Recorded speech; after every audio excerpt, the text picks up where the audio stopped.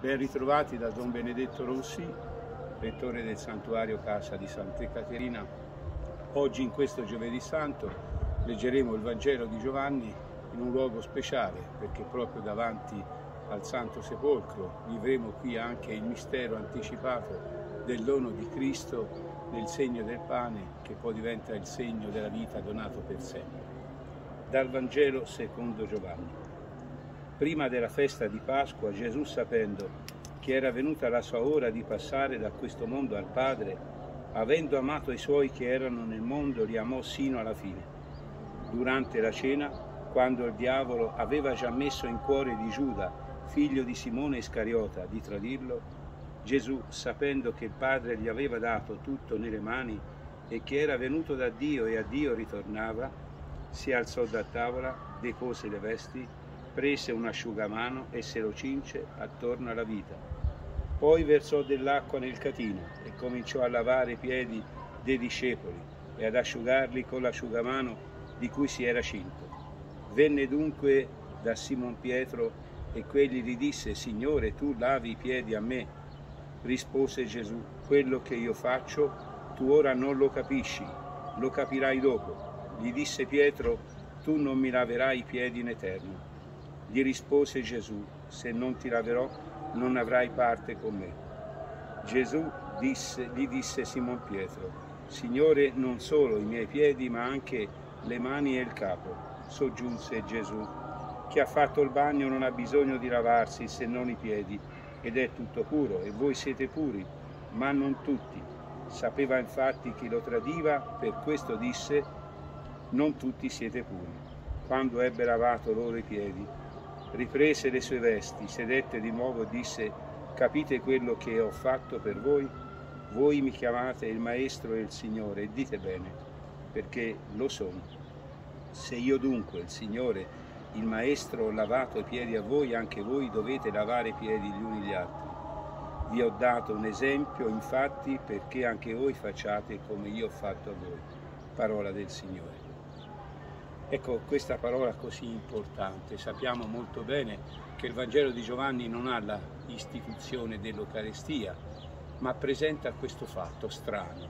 Gesù si trova a cena con i discepoli, quella che sarà l'ultima cena, e a metà tavola, fuori di ogni uso e costume, si alza, quindi disturba quelli che sono a mensa per porre un segno di quello che poi accadrà veramente, un segno che è quello di servire, lavare piedi. Ma il tutto parte dal concetto che li amò sino alla fine. Gesù vuole amare, è cosciente di quello che fa, perché l'amore o è cosciente o qualunque gesto di amore non è più amore. Gesù è cosciente di amare e vuole amare fino in fondo e far capire che l'amore non è qualcosa che nasce dall'alto, ma è una realtà che parte da basso, e così si mette ai piedi dei discepoli. Papa Francesco direbbe che i piedi sono la parte estrema di ogni uomo, quella che ti si sporca di più, quella che non è amabile, quella che non è accettabile. E Gesù significa che prende la parte estrema di noi, quella sporca, quella che non si vuole. Il dono dell'Eucaristia ci fa capire fino a che punto il Signore ci ama, ma quanto è difficile accogliere questo amore. La riserva di Pietro è un po' la riserva di ciascuno di noi. Pietro non ammette che il Signore, il Maestro, si abbassi, no, lui è titolato, se uno deve morire devo morire io, se uno devo servire devo servire io. E non pone resistenza a lasciarsi amare quanto è difficile lasciarsi amare fino in fondo. Noi saremo capaci magari di tanti gesti, di dono, di oblazione, ma la realtà gratuita dell'amore sembra che ti ferisca e non riesci ad accettarla. Il Signore ci fa capire questo nel mistero dell'Eucaristia, qui sul Calvario, che donerà se stesso fino in fondo, abilitando la nostra vita all'amore. Finché io non accetto di essere amato e lavato fino in fondo, io non comprenderò il mistero dell'amore di Dio. E poi ecco quello che dice Gesù, non basta porre un segno, vuole che se ne rendano conto. Capite quello che vi ho fatto, perché altrimenti poteva passare un'altra stranezza che il Signore ha fatto. no? Fa un gesto e lo vuole interpretare, cioè quella interpretazione è il dono reale che dopo farà di sé sulla croce.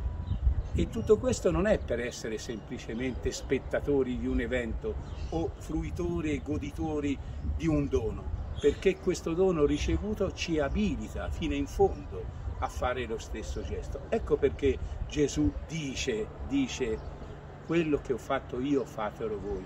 Non si tratta solamente di ripetere il gesto dell'Eucaristia che il sacerdote fa ogni giorno, ma di fare, cioè la logica di incarnazione, appropriarcela per diventare anche noi pane spezzato, Eucaristia donato, amore donato fino in fondo. E quest'acqua che Gesù versa sul catino, bellissimo. Pensate che la parola catino è l'unica volta in tutta, in tutta la scrittura, nictor, a me piace vedere che quell'acqua è l'acqua che uscirà dal costato di Cristo, è l'acqua del suo amore, della sua grazia. Il catino ha una dimensione simbolica, un piccolo contenitore come è ciascuno di noi, come è la Chiesa. Io dico sempre che l'importante è essere un catino, una cosa bellissima. Basta non essere una passatoia, perché la passatoia, lo scola passa, pasta fa sì che l'acqua è, è non raccolta. Noi piccoli contenitori raccogliamo la grazia del Signore per permettere davvero alla nostra vita di essere generata. Ma attenti, il Signore dice cominciò a lavare, cioè la sua è un'azione di inizio, perché questa azione deve essere continuata da ciascuno di noi. Come comincia a lavare, come comincia ad asciugare un'azione completa che parte naturalmente dal lavare e dalla restituzione in dignità, perché questa azione dell'asciugare non è banale, perché se non l'avesse asciugato avrebbe ancora di più sporcato. È quello che il Signore ci vuole dire. Inizia a lavare ma fai un'azione completa che va dall'A alla Z. Se il commento al Vangelo ti è piaciuto, clicca qui sotto su iscriviti e non dimenticare di attivare la campanella per rimanere sempre aggiornato sui contenuti del canale YouTube della Pastorale Giovanile dell'Arcidiocesi di Siena, Colle di Valdelsa, Montalcino.